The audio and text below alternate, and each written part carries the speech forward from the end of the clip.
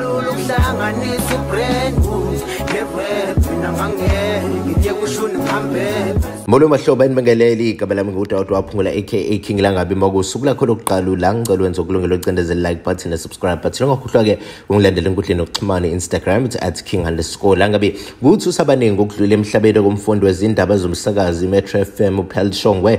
Imbangela yokushona kwakhe ibengakadalulwa kodwa kukholakala ukuthi utholakala eshonile emzini wakhe ose Polo Fields. Umsakazi SFM ezikhundleni zokuxhumana yakhipha lolu daba.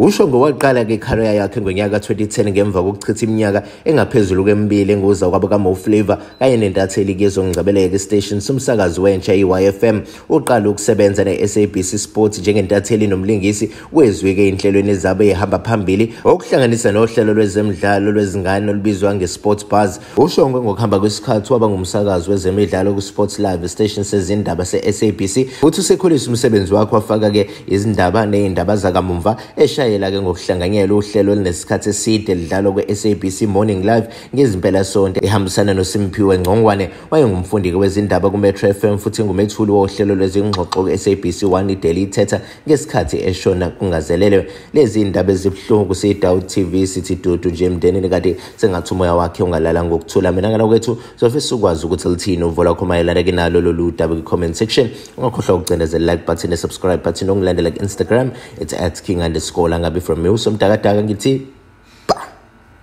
生黑。